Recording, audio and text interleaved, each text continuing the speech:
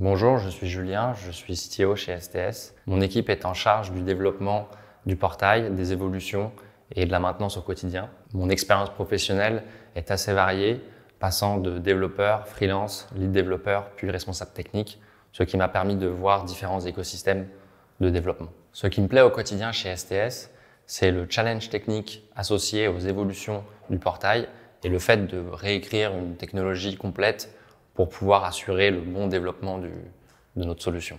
Les indispensables pour exercer mon métier sont des compétences techniques, organisationnelles et aussi humaines pour pouvoir accompagner les équipes dans leur développement au quotidien. STS est une entreprise par nature assez technique de par le métier de la GTA et de la paye, ce qui ajoute un challenge pour les développeurs pour traduire le besoin métier en code. Si ça vous intéresse, rejoignez-nous.